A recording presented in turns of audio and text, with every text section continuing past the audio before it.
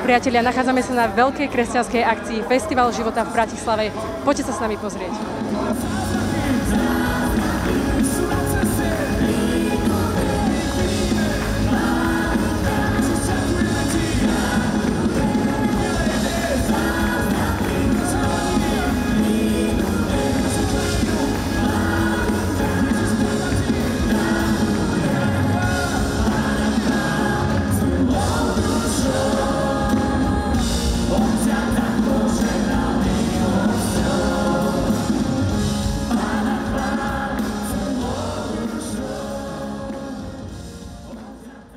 Počas prestávky sme tu zachytili pastora Adriana Šestáka. Čo je cieľom tejto akcie? Je to kresťanské podujatie, ktoré má za cieľ osláviť osobu pána Ježiša Krista a popri tom kázať evanielium, dobrú správu e, ľuďom, ktorí sem prišli, či už sú kresťania alebo nie sú kresťania. A je tu špeciálny host, pastor Enoch Adeboje, ktorý priletel z Afriky a je to pastor jednej z najväčších letničných kongregácií, ktorá je vôbec na svete. Wow. A vy ste pastor akého zboru? Ja som pastorom eh, tu na Bratislave, kongregácie Kresťanské spoločenstvo Bratislava a taktiež ešte niekoľkých ďalších kongregácií, ktoré sú na Slovensku. Koľko církví sa tu asi tak zišlo?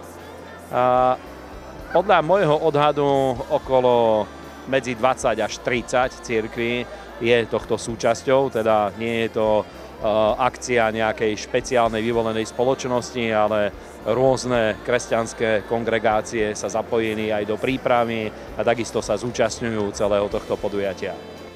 Máme tu pastora Luboša Vukovinského, ktorý má z církev v Krompáchoch a v Spiskej Novej Vsi, ktorý tiež prišiel podporiť túto akciu, takže koľko ľudí zo zboru prišlo podporiť túto akciu? Akú veľkú církev máte? No, momentálne prišiel jeden autobus, takže mohlo by aj viacej, ale tak na budúce. A čo sa týka zboru, tak darí sa nám dobre. Za posledné asi 3-4 mesiace sa obratilo okolo 80 ľudí, takže je taký nárast. No tak občas príde taký nárast a potom trošku tak sa to ukľudní a zase. Takže nejak, nejaký takým schodovitým štýlom rastú tieto zbory, asi tak by som povedal. Čo to znamená, že dať svoj život Ježišovi? Znamená to odozdať sa mu celý a zmeniť svoj život. Že ľudia proste chcú, aby ich život Ježiš zmenil.